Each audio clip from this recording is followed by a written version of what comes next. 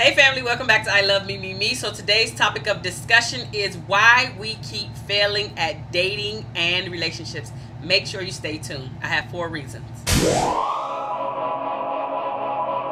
All right, so welcome back to I Love Me Me Me.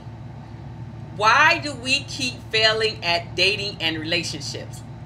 Let me just say, if this is your first time here or you've been coming but you have yet to hit that red subscribe button, hit it now if you're liking my content, make sure that you give me thumbs up. Now, on to why we keep failing at dating and relationships. I'm giving you four reasons.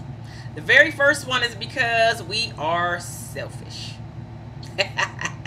we are selfish and we have this I mentality in a we community.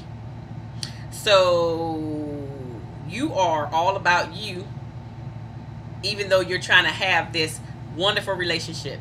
And if you are all about you, you're not going to have a wonderful relationship because you do come off as very selfish. Everything has to be on your terms. You don't want to go and do anything unless you want to do it, unless you feel like it. That's not a we mentality. You don't want to help out. Everything is all about you. So if you are not making any sacrifices for the relationship, especially where the person where he or she can actually see that you are making a sacrifice for them, yeah, they not going to stick around too long for that. They just not. We all want to feel important. And we all want to feel like we are part of the team, a part of the community within our household.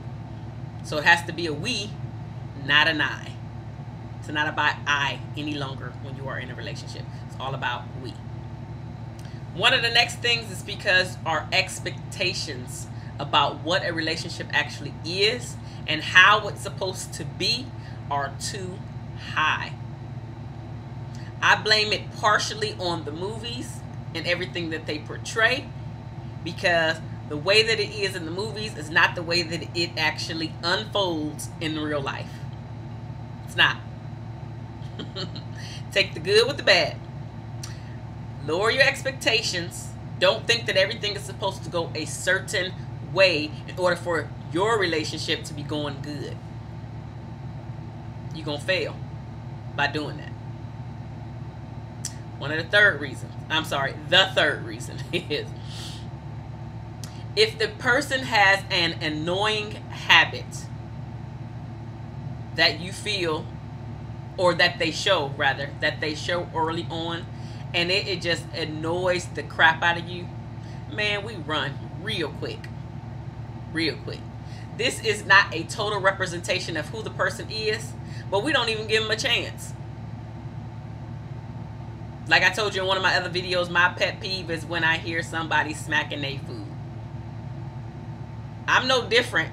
If you smacking your food when we were out on a date, I'm probably super turned off. I'm no different. I'm in the same category. Just saying.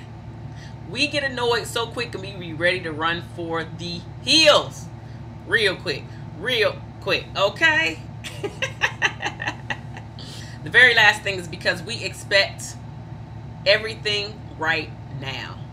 We live in a society where we get everything super quick and we expect the relationship to grow and mature just as quick. And when it's not moving as fast as we think it should move, we're ready to run.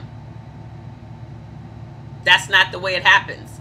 The relationships that you see where um, uh, uh, the man and woman are just very happy, they're very still very um, flirtatious and playful with one another, with one another. They went through some things to get there, and it didn't happen overnight.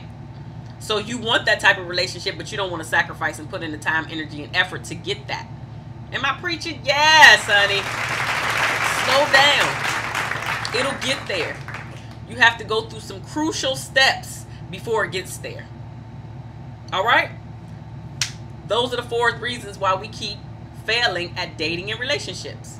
I want you to think about it. Have you done any of those things? If so, make a comment in the description and make a comment in the uh, comment section below. I would like to hear some of the things that some of you guys have done. Like, cause I've heard some people say his his his shoes ugly. They gone. they laugh too much. Like like a guy told me that before. I laughed too much. He ain't want to date me. I was like, oh, dude, die. I know I know that's harsh. I know that's harsh. He didn't die. I'm just saying, like, bye. Sorry that you are a crab and I'm not. Okay. it's funny because later on that same dude tried to come back and tried to date me later on and i was like i thought i laughed too much because you know that ain't going nowhere like I ain't changing me for you like dude. Anyway, moving on. I will see you guys in the next video. Two fingers salute.